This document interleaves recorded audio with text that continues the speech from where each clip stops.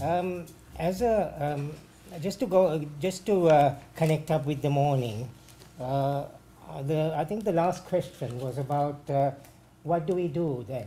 You know, if we don't uh, if we don't know really what to do, uh, what do we do? And uh, that's a, I think a very crucial question because I think as um, many of the people speaking here and here here present uh, would agree that uh, really something needs to be done uh, in the uh, LMIC countries, low and middle income countries, third world, they would like to call it. Um, I hope uh, what I'm saying, what I say, does um, indicate a bit some ways in which one could do something or start doing things in different areas without, um, without knowing very much about what to do, actually. As a background to my talk, I'll start uh, with a quote uh, um, from Lawrence. Uh, now, how do I? I have to just change it, do I? Yes. There is a danger that focusing attention on mental health needs only serves to divert attention, uh, all right, uh, from more difficult social problems that demand political and economic uh, solutions. Psychiatry may collude with those who benefit from the status quo, neutralizing political challenges by reframing problems as aspects of individual mental health, and offering treatment to individuals who are, after all, expressing the pain of a system out of joint. Now, obviously, this could apply to any country, but particularly to areas like Sri Lanka, where there's been the conflict and there's a lot of uh, uh, um, uncertainties, and it's not really very clear why people are, um, you know, it's not really clear how one identifies the causes of uh, distress, difficulty, even psychosis. Um, now, again, uh, uh, having done that, I'd like to um, relate a couple of anecdotes. You may have heard of uh, camps for promoting health, used, I think, for educating people about vaccination, treatment for TB, etc. All very commendable. NGO operated camps on mental health have been held in several Asian and African countries, I believe, during the past few years. I know of one model used in Sri Lanka, conducted by a British NGO. Initially, so called community workers arrive in a village with short symptom checklists, which they use to identify people allegedly suffering from one uh, or other psychiatric illness. Then these people are invited to a camp where they are given a lecture by a psychiatrist outlining the remedies available for the different diagnoses and invited to partake of the drugs displayed on a, uh, displayed on a table or given by injection. In some places, I believe, follow up camps are held to, to follow up for the usual reason to see whether people are taking their medication. The second anecdote is about something that happened in Sri Lanka in 2009 when I was helping with a public meeting to promote the idea of community care. We discovered that a rival meeting supported by, a mental, by the Mental Health Directorate, this is a government directorate, had been arranged also on community care on the very same day about a mile away. Later, I discovered what this was all about because it was clearly rivalry. An Australian NGO, which had li- linked up with some local professionals through various means, had sent a team to promote a scheme they were proposing, which was to train people around the country in community care. This was an NGO that specialized in services for depression, and the training was essentially to teach people how to diagnose the illness of depression. A few weeks later, a local newspaper published its investigation into the NGO in concerned. Although it was non profit making, many of the people on its management were heavily involved in pharmaceutical companies, and some of the professionals on its board specialized in lecturing on behalf of these companies to promote particular antidepressants. Once this was exposed, the Mental Health Directorate pulled out of supporting this scheme, but otherwise it was due to go ahead around the country, funded by, the, by this Australian NGO. This was aid. The third anecdote is about the UK and Bangladesh. A mental health trust in the UK discovered a few years ago that some British Bangladeshi people diagnosed with mental illness were being sent for treatment to Bangladesh by their relatives. Uh, when they inquired further, they actually sent someone over to Bangladesh to suss it out.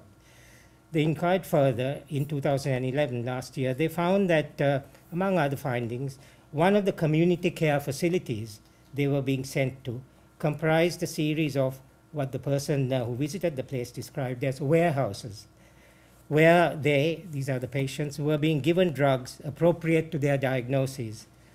Uh, drugs provided by a local pharmacy linked up with a drug firm. I leave you to ponder on these stories in the knowledge that in many low and middle income countries, there is no need for a prescription from a physician to buy drugs. One just has to know its name. In fact, marketing of diagnoses is equal to marketing of uh, drugs.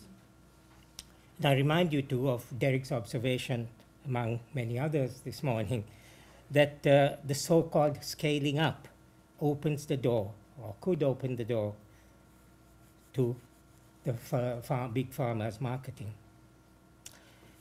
Now, my aim, uh, however, is to look uh, uh, in my talk at practical issues, if I can, of how the welfare of ordinary people in low-income countries can best be improved, focusing on this concept of mental health.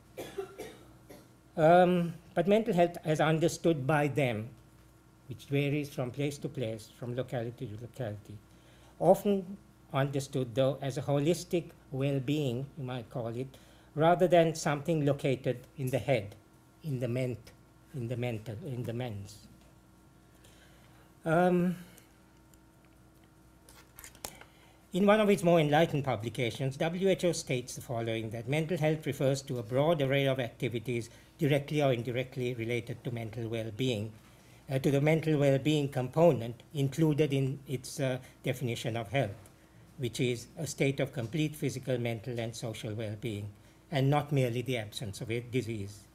In other words, mental health is wider than the absence of mental illness, however illness is defined. Further, the understanding of mental health and illness um, are largely determined by meanings people give to their experiences and feelings in the context of broader worldviews about the nature of the human condition, much of which is culturally determined. That is, and socially determined. That is, the culture and social environment of the majority of people, not particularly the culture of a particular professional group or an institutional group, which might be very similar to that in, uh, in other countries. Um, for example, feelings may be expressed in, in terms of idioms that reflect habits and traditions arising from culture that have become imbued with meaning through usage, contextual factors and personal inclinations the judgment of a particular idiom as normal or abnormal, adaptive or maladaptive, depending on socio-cultural constraints held in society, and familiarity with alternative modes of expression. Illness experience is an intimate part of social systems of meaning and rules of behavior that are culturally constructed. And cultural variations in concepts of the person are reflected in meanings of health and well-being and mental health categories and concepts. Much of this is quoting from mainly uh, Lawrence. Um, now, the context of development.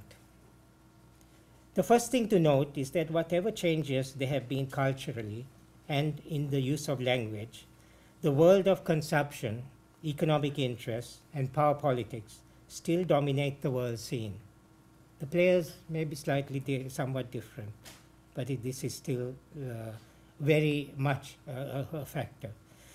Although perhaps uh, dominate less overtly, more subtly than in the past. So we should try, so we should uh, be mindful that these forces, that's economic interest and power politics, affect, for example, what projects get funded or not, how research is conducted or not. And they put pressures on professionals to go in a certain way in determining and in determining finally what sort of system emerges in a particular location. We need to be aware that power games are played out through world organizations subtly dominated by mainly interests of particular nations world organizations whose policies in implementation are often determined by experts they employ and the attitude of trainers going out from the first to the third world, whatever these organizations say in their official documents. Then there are the pharmaceutical companies, which use various means for developing markets for their products. Low priority being given for mental health development by many governments in LMI countries, and their consequent dependence on NGOs that look to funding from agencies in high income countries, which sometimes work to their agendas rather than the real needs of people in LMI countries with, with uh, um, thinking that that's how they should do, set about things. and finally, professionals are often still trained in styles of working, um, styles of working, uh, e.g. specialisms, more suited to developed Western locations, and so likely to go along with systems that may not suit the populations in their countries. Then there are the ground realities in uh, LMI countries that mental health development has to confront. Dr. Jacob in South India points out uh, Uh, that the importance of addressing poverty, public health infrastructure, and inappropriate training and brain drain are the most important. But it is equally necessary, I think, in the world of global capitalism to address some of the other items on this list. For example, the free marketing of psychotropic drugs against the background of whatever is sold as scientific and ostensibly Western get an easy run in the marketplace. And the pervasive low grade corruption that leads to poor management of services, to say the least. Also, we have to address the fact that the most urgent psychosocial issue in some LMI countries concerns the disruption resulting from armed conflict, natural and man made disasters, and foreign invasions. Finally, what is striking to many people is the maltreatment of people who are disturbed in behavior, both in hospitals and in the community. Clearly, much worse in LMI countries than it is in the West, although it exists all over the world. Now, the process of mental health development. Development is a seductive word that suggests a necessary path of progress. In the post colonial period, it implied both social improvement and catching up. But the discourse has moved on considerably since then, and much is made now of development, especially applied to LMI countries, development needing to be ethical and sustainable, unlike the ethos of development during colonialism. Ethical means that development is directly for the benefit of people of the country, regarded as self defining subjects rather than objects of concern, which used to be the case. People entitled to choose their ways of life themselves, both as individuals and communities. And sustainable means it will carry on into the future, fitting into the mainstream of social and political structures without being dependent on ongoing input from other countries. Colon in the colonial times, it was very different. It was development was to develop markets and to develop raw materials for the mother country. Now, the history of mental health development, very briefly, you all know this. We know that the imposition in colonial times of Western type asylums did not really do much good and possibly helped towards the underdevelopment, if not the actual suppression, of indigenous systems of mental health care. Perhaps asylum should never have been introduced into LMI countries, but many still function in these countries and require urgent attention, not least to prevent human rights violations. But in planning more general services, we need to be careful not to make the same mistake we made about asylums, assuming that what is good enough for the West must be the best for everyone. One might call it the colonial attitude. Moreover, it is worth noting that serious doubts are being voiced today about the effectiveness of predominantly biomedical psychiatry in Britain and North America, especially in the, United, in the UK, for instance, for ethnic minorities of Asian and African backgrounds. Also, there are questions being asked in the US, for example, about the way medications are used in the frame of psychiatric models of illness, and about theories of medical of chemical imbalance of neurotransmitters in the brain. These are still minority voices in terms of power, but increasingly persuasive as exemplified by articles in New York Review of Books, New York Times, etc. And today's minority opinion could well be the established wisdom tomorrow. Like the asylum era, the current era, era of rigid diagnosis linked to specific individualized therapies may well be regretted before too long. So, do we really want to risk getting the third world into this? So, we have to be very wary indeed of promoting rigid systems of diagnosis and thereby, I think, opening the door to markets, not just of pharmaceuticals, but various other therapies with a scientific tag. Now, the principles of mental health development in uh, uh, low, low, income countries. Developing mental health systems is not a simple matter of transferring established strategies commonly used in high income countries. And mental health is not just a technical matter, but is tied up with uh, ways of life, values, and worldviews that vary significantly across cultures and societies. A basic principle of development is that we have to start by looking at what happens currently and work from there, using what there is to start with.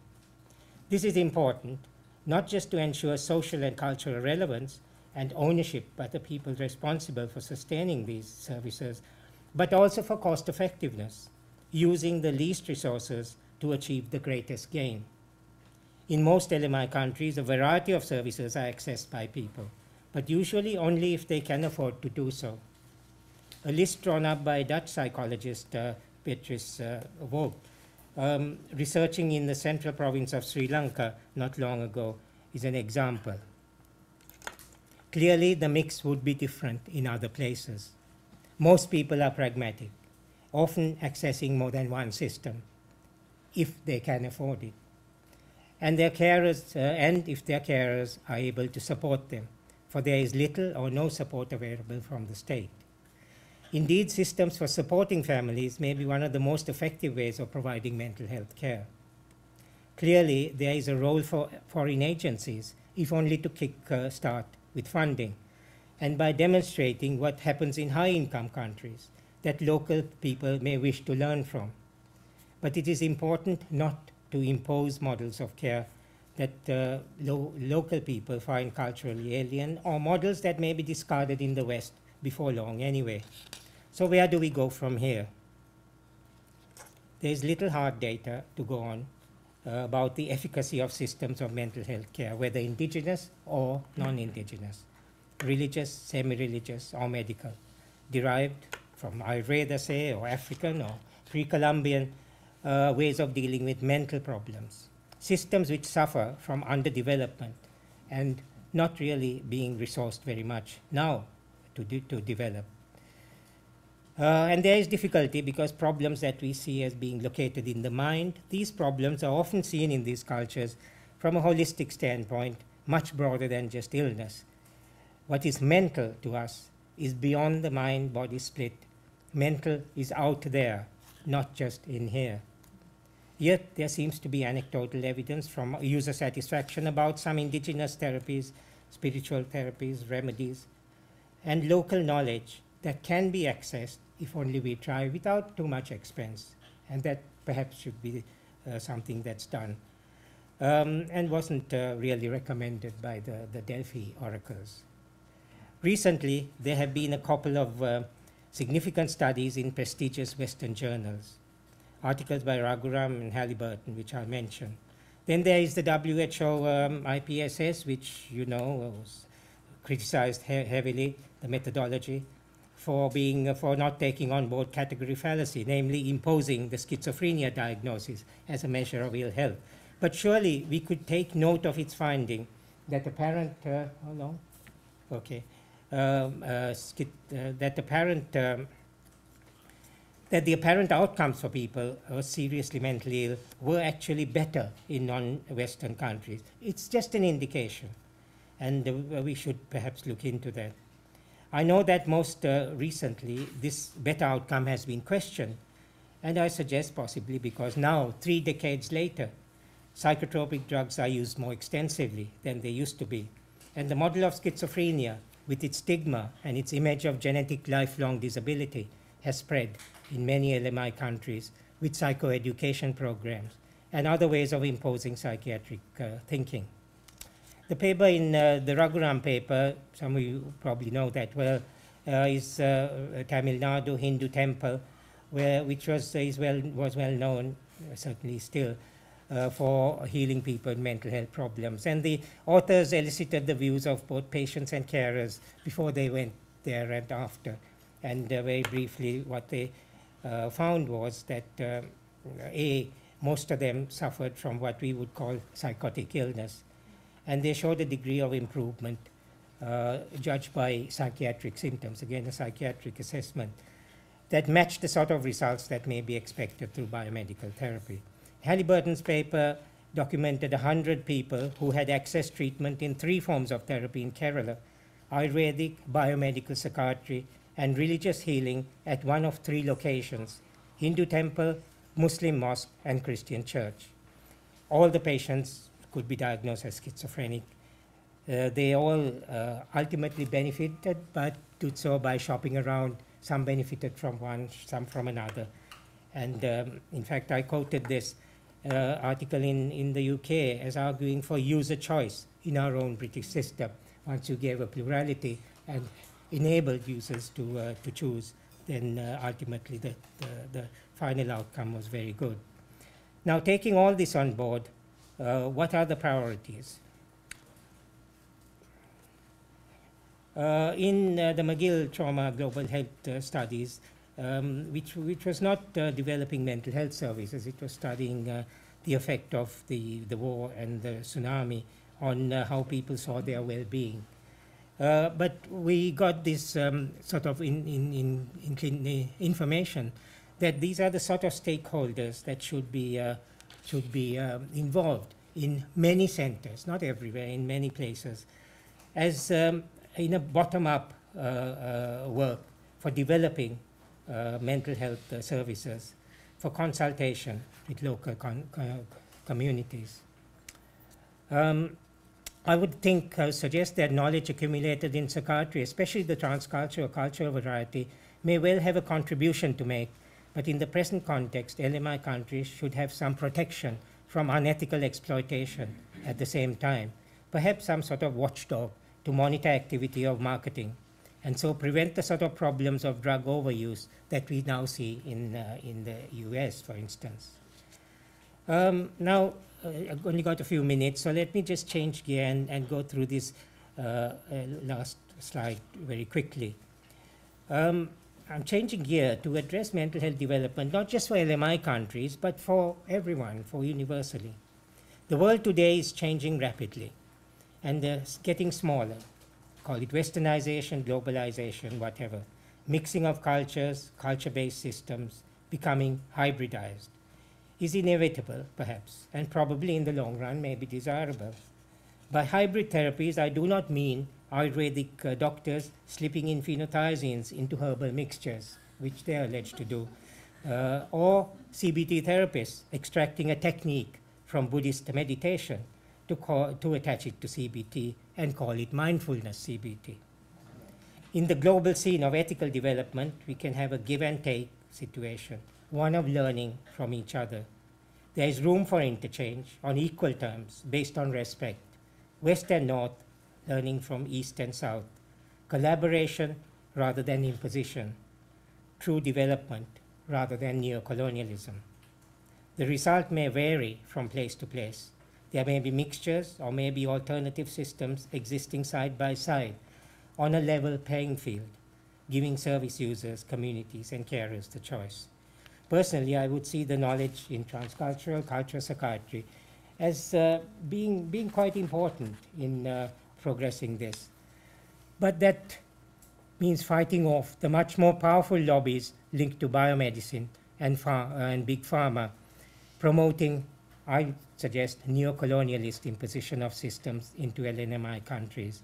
And the great fear of the uh, global mental health movement um, is not the people involved in it, but actually that the system itself takes people into uh, a, a, a mode of uh, working that actually uh, merely results in opening up markets for market forces.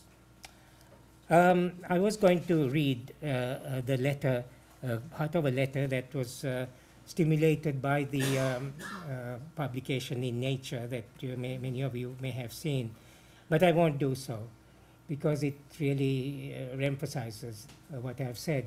But it was a letter from uh, from uh, grassroots, I think, which uh, I must say, you know, I, I had a hand in uh, trying to get it going. But it was from a, a community organization in India, a service user and survivor organization, international one based in South Africa, and um, a critical psychiatrist uh, network in, uh, in the U- UK. And uh, that, um, that indicated from talking to people that uh, there had not been any or much consultation with that sort of uh, uh, grassroots workers and service users and survivors. And I would have thought that is a very crucial element in a global mental health movement. I won't uh, get into the uh, conclusions, but just uh, stop there, see whether you have any questions or whether there is time.